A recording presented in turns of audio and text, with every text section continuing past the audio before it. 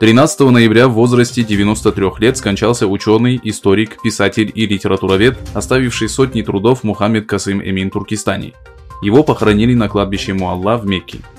Мухаммед Касым Эмин родился в 1930 году в Кашгаре. Начальное образование будущий ученый получил в родном городе, а в 1949 году перебрался в Саудовскую Аравию, окончил медресе Фалах и долгое время преподавал в мечети Аль-Харам. Он работал в уйгурском отделе радио Джидда, редактором газет «Аль-Билят» и «Указ» и всю жизнь посвятил борьбе за свободу Восточного Туркестана. Его библиотека, расположенная в Мекке, была местом сбора друзей и литературным собранием для ученых и писателей. Покойный Мухаммед Касым перевел на арабский язык такие труды, как Кутадбу Белик, История Восточного Туркестана и Краткая история гунов. Он собрал биографии полутора тысяч ученых из Восточного Туркестана. Его перу принадлежит книга «Великий Туркестан. Его прошлое и настоящее», Просим Всевышнего возвысить его степень и обрадовать раем.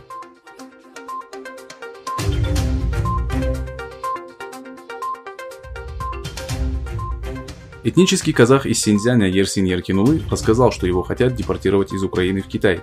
23-летний Ерсин Еркинулы сейчас находится в центре временного содержания в Украине. По словам этнического казаха, он направлялся в Польшу, чтобы получить статус беженца.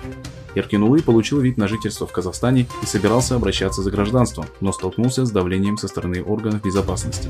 4 ноября украинский суд решил его депортировать в Китай и оштрафовал на 142 доллара. Но после вмешательства США правительство Украины пообещало не депортировать его.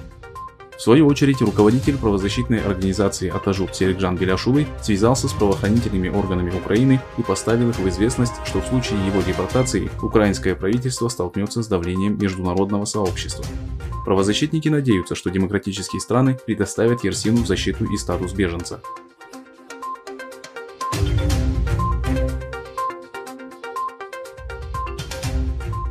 Посол Китая в Великобритании Лю Саумин был вызван в четверг в Министерство иностранных дел Королевства в связи с решением об отстранении четырех оппозиционных депутатов Законодательного совета Гонконга. Глава Министерства иностранных дел Великобритании Доминик Рааб в четверг также вновь обвинил Пекин в нарушении Объединенной Китайско-Британской совместной декларации о передаче Гонконга Китаю. Использование Пекином новых правил, чтобы дисквалифицировать четырех законодателей в Гонконге, представляет собой прямое нарушение юридически обязывающей Объединенной Китайско-Британской декларации, сказал Рааб, слова которого приводит его ведомство.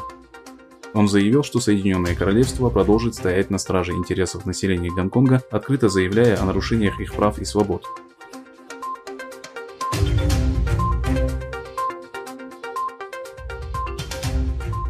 В столице США в субботу 14 ноября прошел масштабный митинг сторонников действующего президента Дональда Трампа. Участники акции в Вашингтоне скандировали еще 4 года и утверждали, что прошедшие выборы главы государства сопровождались фальсификациями. Среди участников были представители и ультраправых группировок. Трамп, который объехал Фридом Плаза, поблагодарил своих сторонников. После скандирования лозунгов в поддержку Трампа демонстранты двинулись к зданию Конгресса.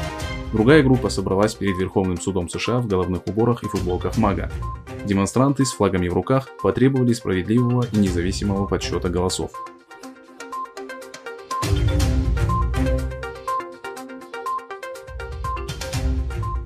Премьер-министр Кыргызстана, подавший заявку на участие в президентских выборах, которые состоятся в Кыргызстане 10 января, покинул свой пост.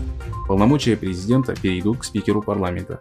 Об этом сообщил сам Жапаров на пресс-конференции 12 ноября в Бишкеке.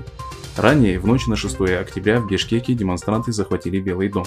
Днем Центральный избирательный комитет аннулировал итоги выборов из-за массовых нарушений на участках. Депутаты Жугорку Кенеше на внеочередной сессии приняли отставку премьер-министра Кубатбека Боронова и назначили на его пост экс-депутата Садыра Жапарова, освобожденного из заключения во время протестов. Теперь Жапаров значится в списке Центра избиркома 63-м претендентом на должность президента. Thank you